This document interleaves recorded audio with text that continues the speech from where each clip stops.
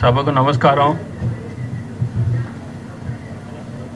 సరిగ్గా యాభై ఏళ్ళ క్రితం అంటే పంతొమ్మిది వందల ఓకే ఓకే. పంతొమ్మిది వందల డెబ్భై నాలుగవ సంవత్సరం.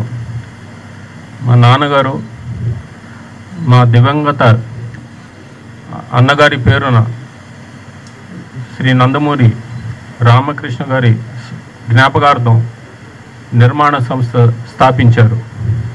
అదే రామకృష్ణ సినీ స్టూడియోస్.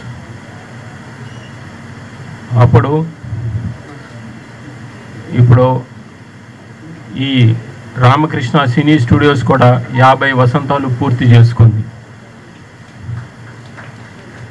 అది ఎవరికి సో మీ అందరికీ గుర్తు చేస్తున్నాను. అలాగే ఆయనతో పాటు ఒక యువ హీరోని పరిచయం చేయటం జరిగింది. అదే మా తమ్ముడు నందమూరి బాలకృష్ణ గారిని. ఇప్పటికీ యాభై సంవత్సరాలు పూర్తయింది. ఆయన ఎన్నో వైవిధ్యమైన పాత్రలు చేశారు ఎన్నో వైవిధ్యమైన సినిమాలు చేశారు. అటు జానపదం కానివ్వండి మైథలాజికల్ కానివ్వండి పౌరాణికం కానివ్వండి లేకపోతే సాంఘికం కానివ్వండి. ఎన్నో వైవిధ్యమైన కార్య పాత్రలు వేశారు ఆయన. ఆయన మా నాన్నగారికి నిజమైన వారసుడు నటన వారసుడు అని నిరూపించుకున్నాడు. మా నాన్నగారు కూడా ఈ ఇండస్ట్రీలో ఎన్నో పాత్రలు వేసి ప్రతి నాయకుడి పాత్రను కూడా వేసి జనాన్ని మెప్పించాడు ఆయన. వయసుకు మించిన పాత్రలు కానివ్వండి ఎన్నో వైవిధ్యమైన పాత్రలు. అలాగే మా తమ్ముడు బాలకృష్ణ కూడా అదే దారిలో ఆయన నటవారసుడిగా ఇప్పుడు ఆయన వేసిన పాత్రలు ఆయన ఒక్కడు తప్పితే వేరే నటుడు ఎవరూ వేయలేరు. అంటే ఈ సాంఘికంలో కానివ్వండి జానపదం పౌరాణికం ఆ ఎన్నో పాత్రలు వేశాడు. ఆయన నిరూపించుకున్నారు. ఆయనకు ఆయనే సాటని నిరూపించుకున్నారు. అలాగే రాజకీయంలో కానివ్వండి మా నాన్నగారికి వారసుడిగా కూడా నిరూపించుకున్నారు ఆయన హిందూపూర్లో హ్యాట్రిక్ విజయం సాధించారు.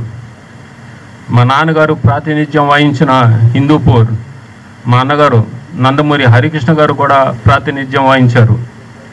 ఇక మీకు అది సినిమా డైలాగ్గా చెప్పాలంటే హిందూపూర్ గడ్డ నందమూరి అడ్డ అంటారు. అది.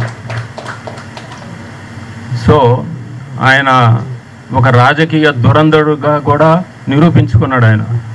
ఆయన సత్తా ఏంటో చాటారు.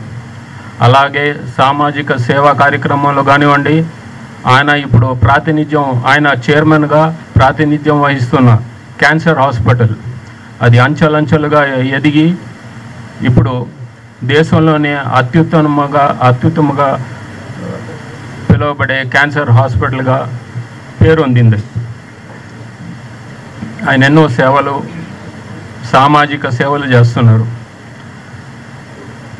సో ఇంకా ఎన్నో చెప్పాలి ఆయన గురించి. బట్ ఇది పరిచయ వేదిక. అంటే తెలుగులో చెప్తున్నాను. అదే మీ ఆంగ్లంలో అయితే ఇది కర్టన్ రైజరు టీజరు లేకపోతే ట్రైలరు. సో అన్నీ ఇప్పుడే చెప్తే అది కాదు. సో ఎలాగైనా ఈ సినిమా ఇండస్ట్రీ ఆయన్ని ఘనంగా సత్కరించాలని పూనుకుంది. అది ఈ month end. Sep September first నాడు చేస్తున్నాడు. సో ఆ విషయాలన్నీ ఆనాడు తెలియజేస్తాను. ఇప్పుడే చెప్తే థ్రిల్ ఉండదు. అది.